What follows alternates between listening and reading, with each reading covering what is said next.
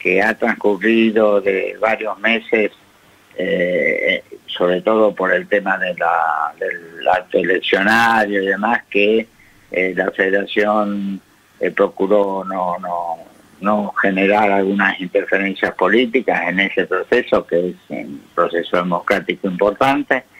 en este tiempo, que realmente lo que veníamos eh, planteando y analizando y consensuando eh, ha caído bastante por el suelo, ¿no? Porque eh, prácticamente hay por lo menos 700, 700 empresas más o menos importantes después de fuera de la, de la cuenca trabajando y dando empleo en sus lugares de origen eh, y, por lo tanto produciendo desplazamientos de empresas locales o en algunos casos inclusive con las subsidiarias, empresas que tienen casi todas las operadoras tienen su subsidiaria, eh, contratan con la subsidiaria, la subsidiaria se queda con una parte de la renta y eh, después subcontrata a empresas locales, ¿no? Esto es un proceso que nos tiene muy preocupados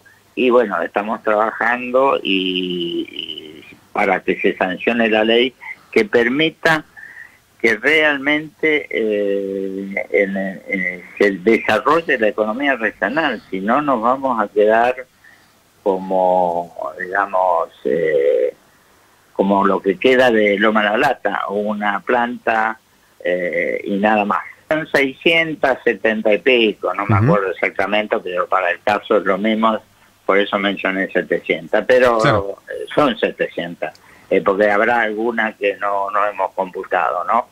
Evidente, hasta empresas de provisión de, de, alimentos. Eh, claro. O sea, realmente hay, hay, que terminar de sancionar la ley, porque acá el problema de, de, la falta de, de desarrollo de la cantidad de empresas locales, porque know-how le sobra en general, ¿no? Sí. Eh, no, no tenemos que olvidar que eh, han trabajado en Vaca Muerta, que es eh, prácticamente uno de los tres lugares del mundo en donde se desarrolla no convencional, o sea que no, no hay mucho para aprender, digamos, ¿no? Desde luego siempre hay que aprender. sí, sí, pero es un modelo para, para el resto del mundo, está claro que es así.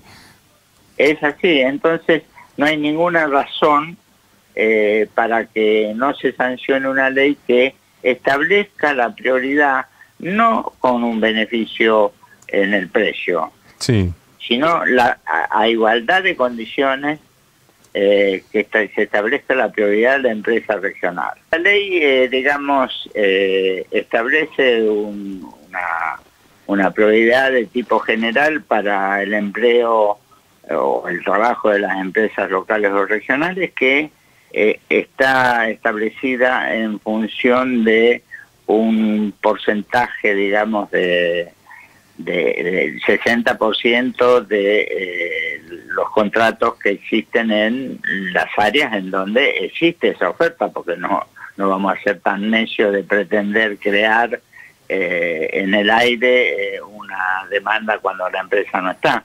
Y, en Vaca Muerta hay mucho trabajo para mucha gente y va a haber mucho más. Entonces, eh, las operadoras y las de servicios especiales tienen que cubrir, no se le dice qué empresa, simplemente un porcentaje de su contratación.